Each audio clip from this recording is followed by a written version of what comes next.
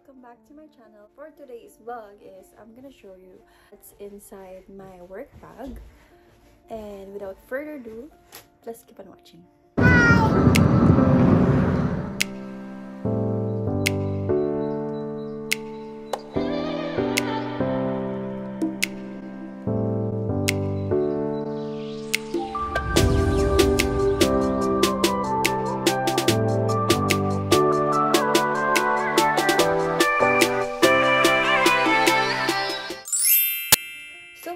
Today, um, it's you know it's always been a while um, since I uploaded a video. So kasi sobrang busy talaga ng schedule ko since I'm working and I'm a mom. Hindi ko na alam kung saan ko pa isisingit mag-vlog. Pero um, for fun, um, minsan pag nasa mood, mag-vlog ako. Say hi to the vlog!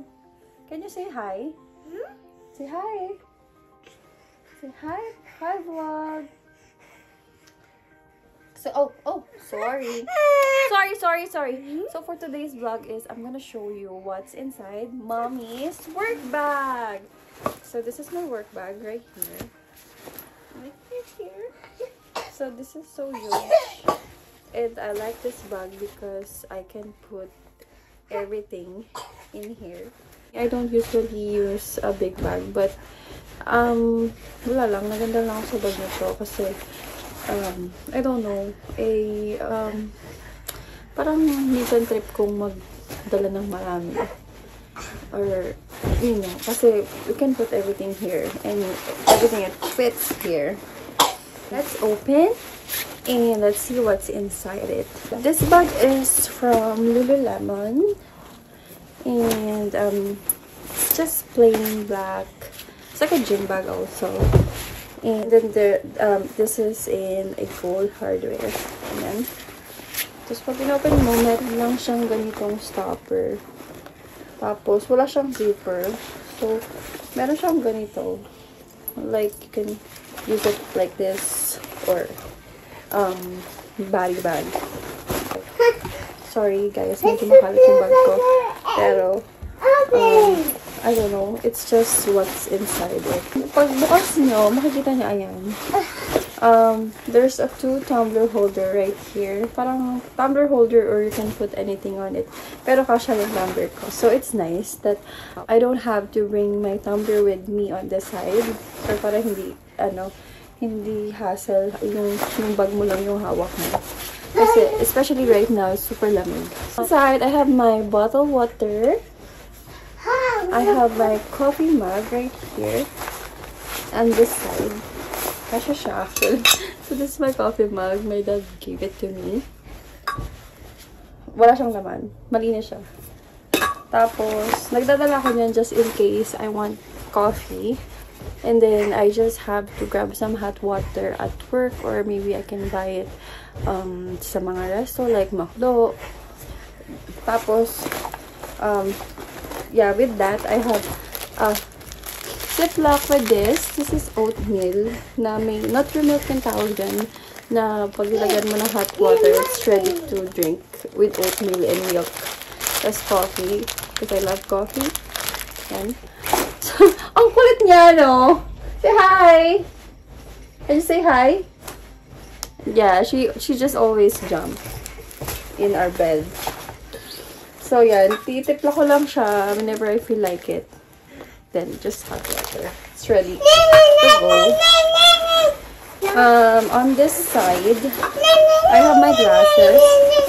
It's, uh, malabo mata ko, but I don't use it kasi, I don't know, I just feel so, ano, annoyed in pag uh, nagda-drive lang ako sa gabi kasi medyo malabo na talaga yung mata ko. So, I use it um, whenever I feel like it.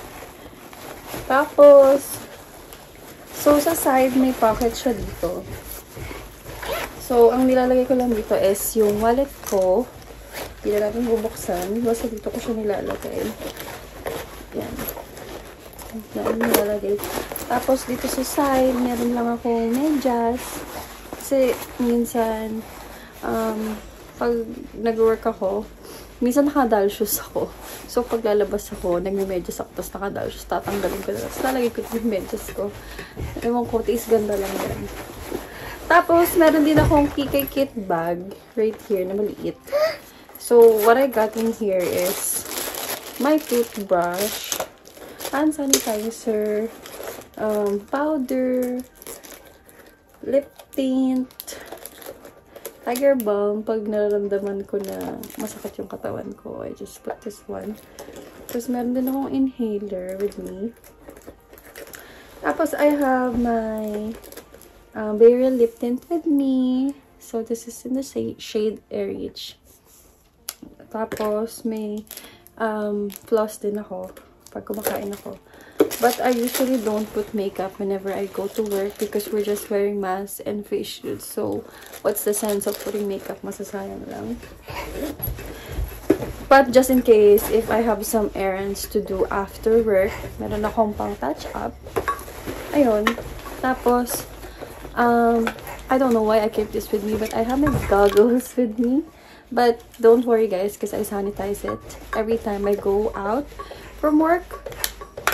Tapos, I have my my hairbrush. I have hand cream. Yan. Because um, we always wash our hands and our hands tend to dry um, pag nagmugas tayo ng kamay. So, um, this is most important when um, you always wash your hands. Just put a moisturizer so that it won't get dry and hindi siya magsusugat-sugat dito. So, hand cream. And then, ano pa ba? So, I have this sunscreen with me. Even though it's winter here, I always put this. I use this as, as my sunscreen and also as my moisturizer.